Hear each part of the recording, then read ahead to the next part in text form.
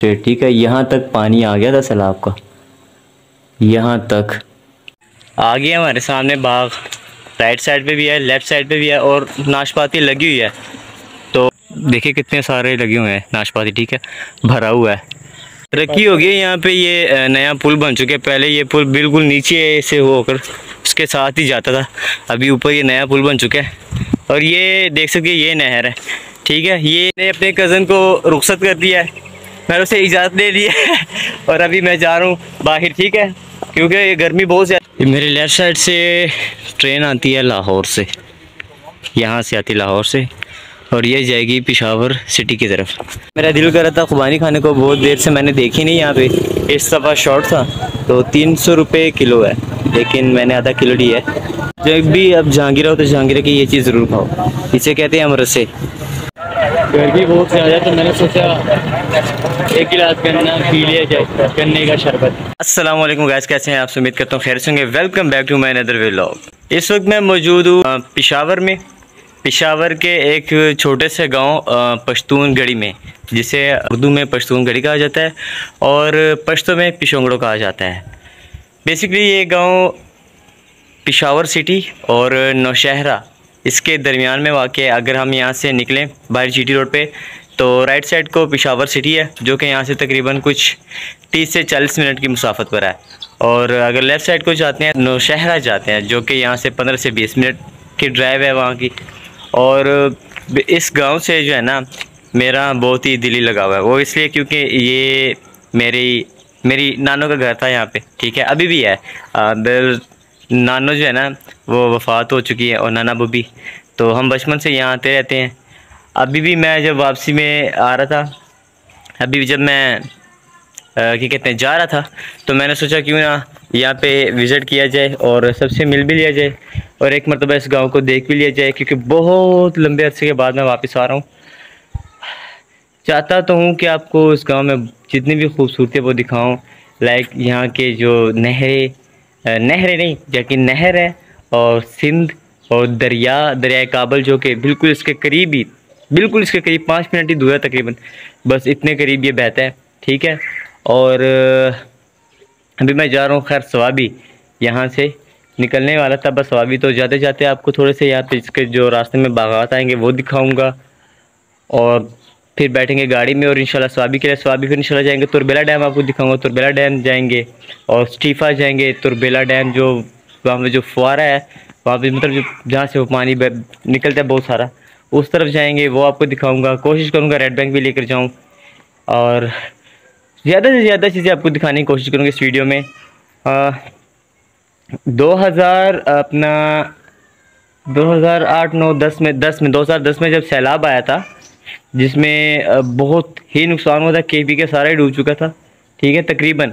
ये गाँव जो है, जहाँ मैं मौजूद हूँ, ये मुकम्मल ही डूब चुका था। हमारे जो घर है, मेरी नानों का घर है, और ये सारा ही, इसकी मतलब आप कह सकते हैं, ये ऊपर वाली जो सिर्फ़ एक ईंट है ना, एक ईंट, सिर्फ़ ये बची हुई थी। इसका, यहाँ का हालात कुछ यूँ था कि फ्रिज जो था, वो ऊपर छत पर पड़ा हुआ था, और कंप्यूटर जो था, वो पंखे के साथ लटक रहा था। कुछ ऐसे हालात हो गए थे यहाँ पे अभी मैं उसी गाँव में मौजूद हूँ। ये इस गाँव से क्या कहते हैं कुछ सिंगर्स भी ये इस गाँव से हैं। पिशा पश्तो लैंग्वेज के जो सिंगर हैं शहनशाह बादशाह वो भी इसी गाँव से ताल्लुक़ रखते हैं। और इसके अलावा जूनियर आर्टिस्ट हैं पश्तो ड्रामों के आबिद ख़ान। अबीदे कहा जाता है उनको यहाँ पे लो, लोग उनको ऐसे कहते हैं। वो भी इसी गाँव से हैं। उसके अलावा और छोटे मोटे एक्टर हैं जो इसी गाँव से ताल्लुक़ रखते हैं। खैर, बहुत ही खूबसूरत गाँव है, बहुत ही प्यारा गाँव है। अभी तो मेरे पास टाइम नहीं है, वरना मैं आपको मुकम्मल दिखाता, दरिया काबल लेकर जाता। और और यहाँ पे जो बागात है, वो दिखाता। अभी यहाँ पे आबादी बहुत बढ़ चुकी है। पहले यहाँ पे बहुत ही ज़्यादा, बहुत ही ज़्यादा खूबसूरती थी।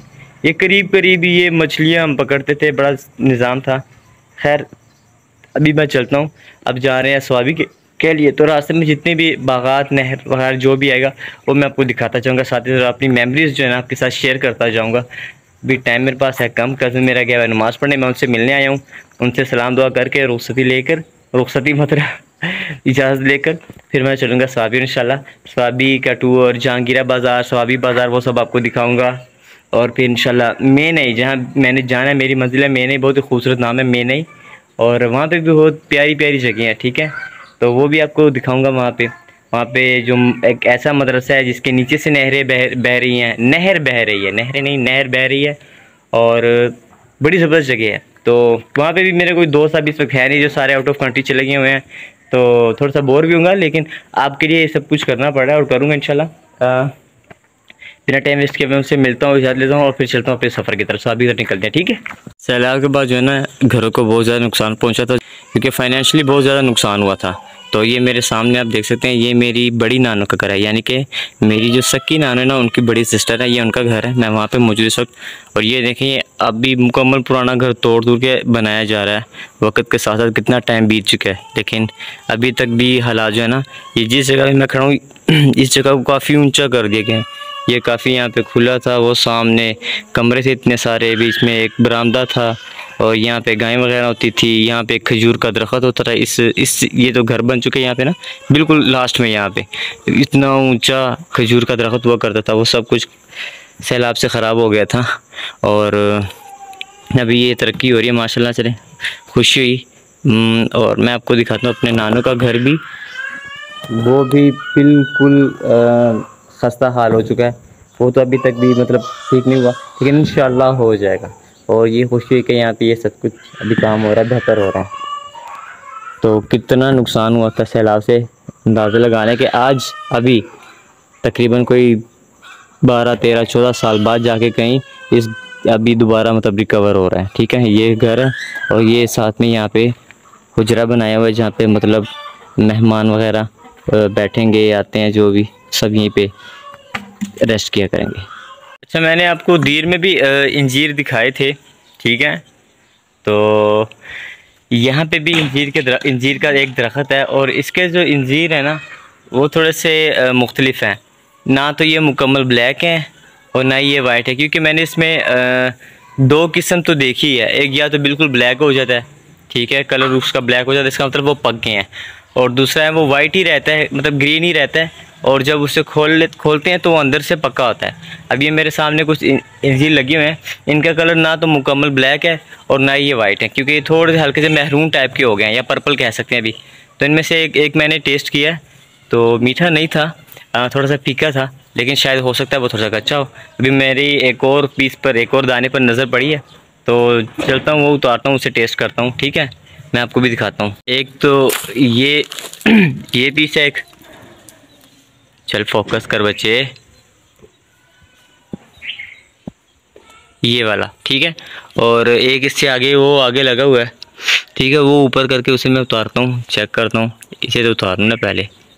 ये तो मैंने उतार लिया, ठीक है? एक पीस ये उतार लिया और अभी एक ये लगा हुआ है, लेकिन नहीं। एक ये ऊपर लगा हुआ है, वो खुल चुका हुआ है। तो ये मुझे समझ नहीं आ रही है खुल क्यों गया? एक वो आगे भी है जो खुल चुका है। ये देखें, ये भी खुल चुका है।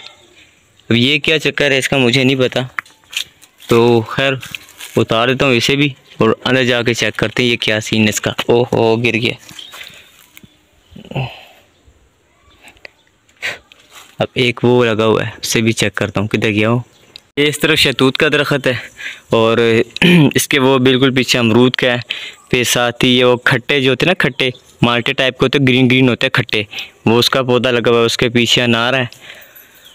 और ये सब कुछ यहाँ पे लगा है, लेकिन शतूत इस वक्त है नहीं। मैंने सोचा अगर होते तो मैं वो भी उतार लेता।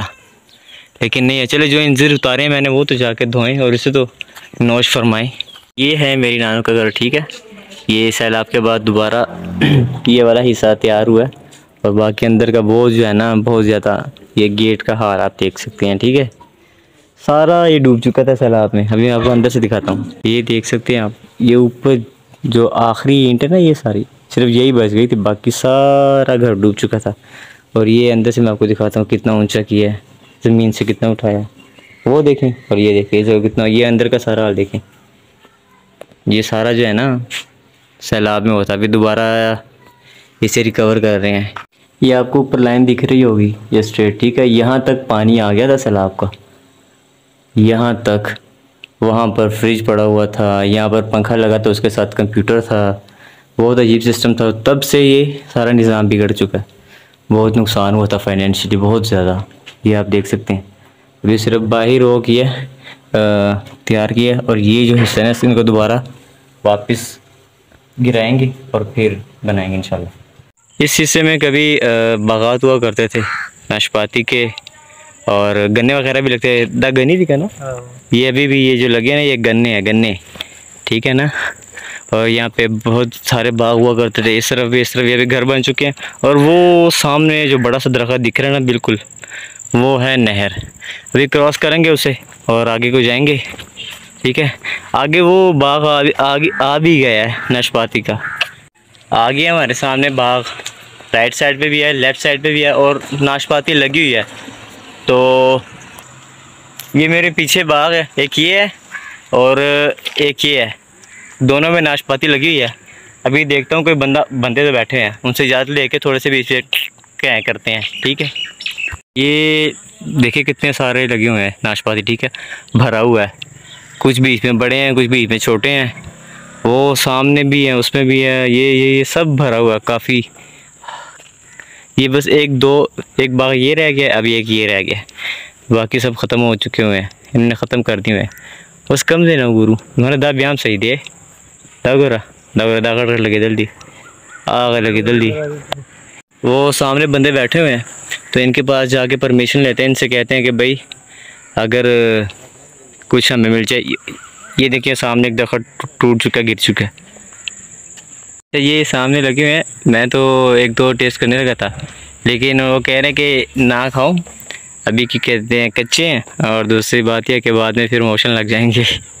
और सफ़र पे जा रहा हूँ तो फिर काम जो है ना ख़राब हो जाएगा। तो फ़िलहाल अपने से जो प्लान को ना यहीं पे पोस्टपोन कर देते हैं और बिना खाए पिए चलते हैं आगे। जी, मैंने तो कोशिश की कि मैं लूँ और नशपाती। और आपको दिखाऊँ और कुछ टेस्ट भी करूँ, बताऊँ फिर। लेकिन, बिना टेस्ट के ही बता बता रहा हूँ कि उन्होंने बताया कि ये भी कच्चे हैं, इसका अभी टाइम नहीं हुआ, ठीक है? इसमें इसमें अभी रस नहीं बना। और अगर आप अभी से टेस्ट करोगे, खाओगे तो आप जा रहे हो सफ़र पे, फिर रास्ते में आपको बहुत प्रॉब्लम होगी। और वॉशरूम भी आपको मिलना नहीं है, ठीक है? और गाड़ी स्पेशली फिर रुकेगी तो नहीं ना तो इसीलिए मैंने भी कहा भाई मैं ये रिस्क नहीं लूँगा। तो अगर आगे कहीं रास्ते में कहीं मिल गई फ्रूट मतलब बिकते हुए, वहीं से टेस्ट कर लेंगे। अच्छा अभी मैं पहुँच चुका हूँ उस नहर पर, जहाँ पर कभी हम बहुत बड़ा शुगल किया करते थे इंजॉय किया करते थे, और यहाँ पे मछली वगैरह पकड़ा करते थे। अभी तकरीबन सूख चुकी है, मैं आपको ये बता दूँ, अभी वो दिन नहीं रहे, और वो बातें नहीं रही, वो इन्जॉयमेंट नहीं रहा। आप देख सकते हैं कि बागात वगैरह कुछ भी नहीं रहे तो ये कहाँ से रहेगा? ये मेरे पीछे आप लोकेशन चेक कर सकते हैं, ठीक है? ये, जहाँ से हम गुजरेंगे, इस जगह का नाम है अजब बाग। और अजब बाग में गज़ब कहानी है भाईजान। मैं आपको नहर दिखाता हूँ। तरक्की हो गई यहाँ पे, ये नया पुल बन चुके पहले ये पुल बिल्कुल नीचे से होकर उसके साथ ही जाता था। अभी ऊपर ये नया पुल बन चुका है। और ये देख सकते ये नहर है। ठीक है, ये ऐसे नहीं थी जितनी इसकी चुड़ाई है ना। ये इतनी चौड़ी नहर हुआ करती थी, ठीक है? और अभी ये ख़त्म हो चुका है और ये जो पानी आ रहा है, ये पीछे कहीं बारिश हो रही है तो ये पहाड़ों से पानी आ रहा है और कितना इसका कलर है। एक वो आगे आपको ब्रिज दिख रहा होगा, पुल, ठीक है? वो है हमारे गाँव का मेन पुल, जहाँ पर हम कभी मछली वगैरह पकड़ा करते थे, शिकार किया करते थे, वहीं पे बैठकर, ठीक है? और अभी मैं जो कि बाहर जा रहा हूँ तो ये रास्ता मैंने लिया है। बाहर उस तरफ़ जीटी रोड है, फाटक भी आएगा और बिल्कुल इसके पीछे वो लास्ट में जो आपको दिख रहा है ना, इसके दरमियान एक छोटा सा सींद है, फिर उस वो लास्ट में जो है दरिया काबल है। अभी चलते हैं आगे, क्योंकि गर्मी बहुत ज़्यादा है और मेरे कज़न ने वापस भी जाना है और यहाँ तक मुझे छोड़ने आए इतनी दूर इस गर्मी में। ठीक है ना? अभी मैं जा रहा हूँ आगे। मैंने अपने कज़न को रुख्सत कर दिया है। मैंने उसे इजाज़त दे दी है।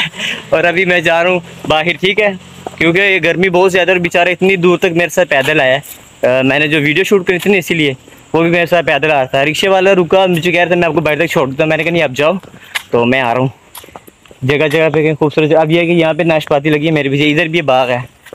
ये देखें, ये भी बाग है। और आगे भी एक राइट साइड पे बाग है। कभी यहाँ पर बहुत ज़्यादा बाग हुआ करते थे, अभी कुछ भी नहीं है। अभी सिर्फ़ ये तीन, चार, पाँच ऐसे बस बाग रह चुके हैं और लेफ़्ट राइट आबादी हो चुकी है। और इस तरफ़ जब अफ़गानिस्तान में वॉर चल रही थी तो यहाँ पर बिल्कुल मेरे पीछे उस तरफ़ बहुत ज़्यादा अफ़गानी जो महाजिर आए थे ना, वो यहाँ रह रहे थे। उनका यहाँ पे कैंप था और इस जगह को तब महाजिर कैंप कहा जाता था। और पश्तो में कहते थे माजरानो कैंप तो भी ख़त्म हो चुका है, वो सब वापस चले गए हैं। मैं पहुँच चुका हूँ बाहर। करीब हूँ भी फाटक क्रॉस करूँगा, उसके बाद सामने मेन जीटी रोड वहीं से गाड़ी लेंगे और सीधा जहांगीरा स्टॉप करेंगे, फिर जहांगीरा से सवाबी, फिर सवाबी से आगे चलेंगे। भाई, बड़ा लंबा सफ़र है तो गर्मी बहुत ज़्यादा है। तो मैं चलता हूँ पहले बाहर। ये फाटक पे पहुँच चुका हूँ, मैं अभी फाटक क्रॉस करूँगा तो वो सामने आपको जीटी रोड दिख रहा है। ठीक है? ये मेरे लेफ़्ट साइड से ट्रेन आती है लाहौर से। यहाँ से आती लाहौर से, और ये जाएगी पिशावर सिटी की तरफ़। फाटक क्रॉस किया है, सामने जा रहा हूँ। जीडी रोड की तरफ़। यहाँ से मुझे गाड़ी मिलेगी और फिर मैं जाऊँगा इंशाल्लाह पहले जहांगीरा फिर सवाबी। मैं बाई रोड पे आ चुका हूँ और ये है अजब बाग वो सामने मुझे आ, मेरे रिलेटिव मिल गए थे तो उनके साथ काफ़ी टाइम से खड़ा रहा काफ़ी टाइम से। अब यहीं पे मैं गाड़ी का वेट करता हूँ कोई गाड़ी आएगी तो मुझे रिसीव करेगी और वो लेके जाएगी। ये आ गई है मैं इसमें बैठने लगा हूँ और मैं जा रहा हूँ जहांगीरा। मिल गई है गाड़ी गाड़ी में बैठ चुका हूँ चल पड़े अभी सफ़र की तरफ़ ठीक है? फिर देखते हैं कितने टाइम पे पहुँचते हैं।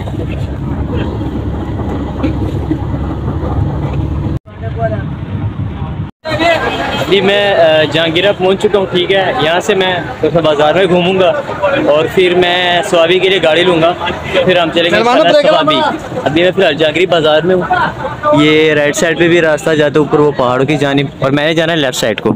इस तरफ़ जाना है, मैंने थोड़ा सा आगे जाऊँगा अड्डा लेकिन पहले मैं ज़रा बाज़ार विज़िट कर लूँ, थोड़ा सा घूमूँ, यहाँ पे कुछ फल वगैरह देखूँ, फिर इंशाल्लाह मैं आगे जाऊँगा।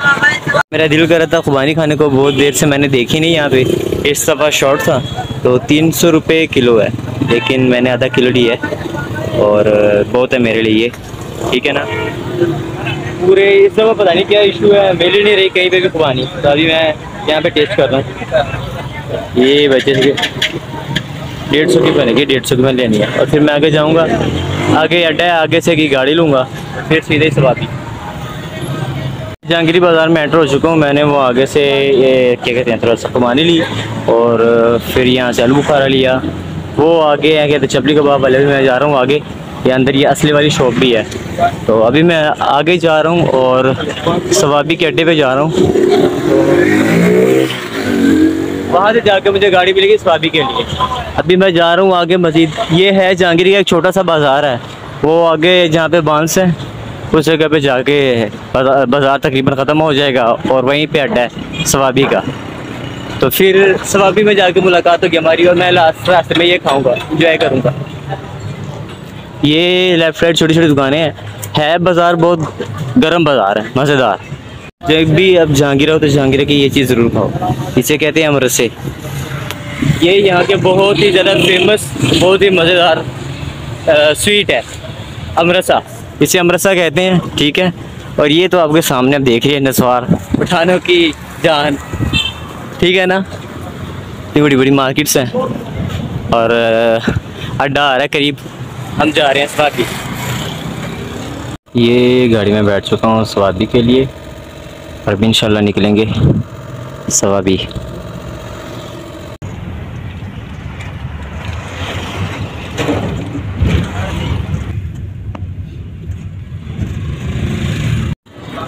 फाइनली मैं स्वाभी पहुँच चुका हूँ। अभी यहाँ से रिक्शे में बैठूँगा मैंने के लिए। तो भी बाज़ार की तरफ़ जाएगा मैंने रास्ते में उतर जाऊँगा। फिर वहाँ से रिक्शे में बैठूँगा। शुक्र अल्लाह का ये सफ़र मुकम्मल हुआ। इतना टाइम ले लिया इतना टाइम ले लिया। मुझे नींद आ गई थी बीच गर्मी बहुत ज़्यादा तो मैंने सोचा एक गिलास गन्ना पी लिया जाए गन्ने का शरबत।